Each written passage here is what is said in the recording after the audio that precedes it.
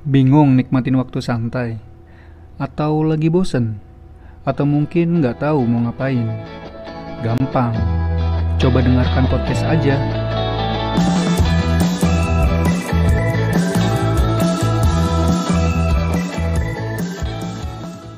Sebagai junior, sering kali saya mendapatkan perlakuan semena-mena. Dipaksa melakukan hal yang saya tidak suka dan kadang-kadang di luar pemikiran saya. Bahkan sering juga mendapat ancaman dan terjadi perkelahian.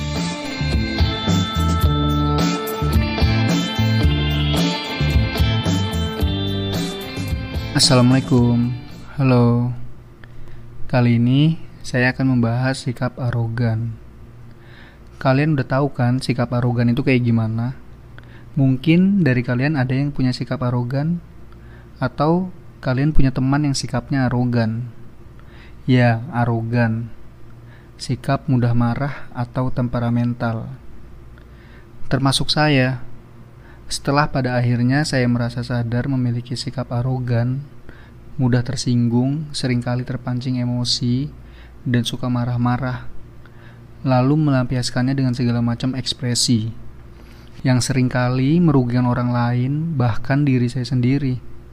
Bagaimana tidak, saat saya sedang dikuasai emosi atau amarah, sering kali saya melampiaskannya, entah itu dengan tindakan fisik, kata-kata, atau perlakuan yang melukai orang lain. Saya juga tidak tahu kenapa saya bisa menjadi seorang yang arogan. Karakter seperti ini saya sudah rasakan sejak dulu, sewaktu saya masih kecil. Entah ini sudah menjadi garis keturunan atau faktor lingkungan. Karena sedari kecil saya mendapat pendidikan yang sangat keras dari keluarga saya. Kakek saya yang mendidik orang tua saya sangat keras. Begitu juga orang tua saya yang mendidik saya sama kerasnya. Bayangkan saja, saya selalu menerima hukuman ketika saya salah menurut mereka mulai dari nasihat sampai hukuman fisik yang sangat keras. Tergantung seberapa besar kesalahan saya. Ya begitulah pendidikan di zaman saya. Lalu di lingkungan pun saya sangat terbiasa dengan kekerasan dari kecil. Ya kurang lebih saat saya berusia 6 tahun, seingat saya ya. Saya terbiasa hidup dalam kondisi pergaulan yang senioritas di mana teman-teman saya bercampur. Ada yang seumuran dan ada yang di atas umur. Sebagai junior, sering kali saya mendapatkan perlakuan semena-mena. Dipaksa melakukan hal yang saya tidak suka dan kadang-kadang di luar pemikiran saya. Bahkan sering juga mendapat ancaman dan terjadi perkelahian.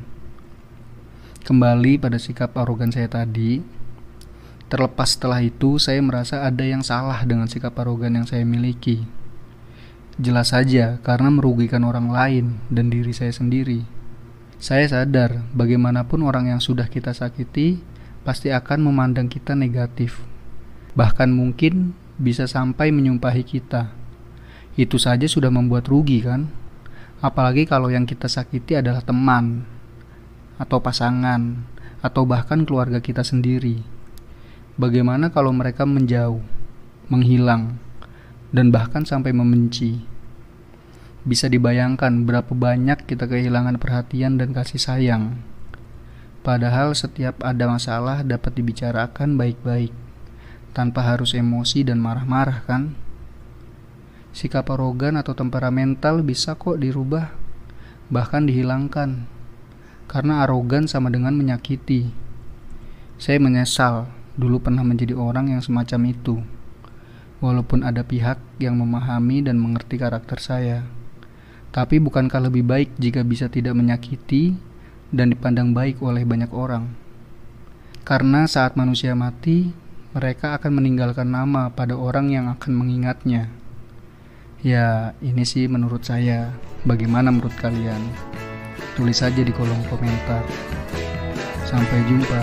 Assalamualaikum.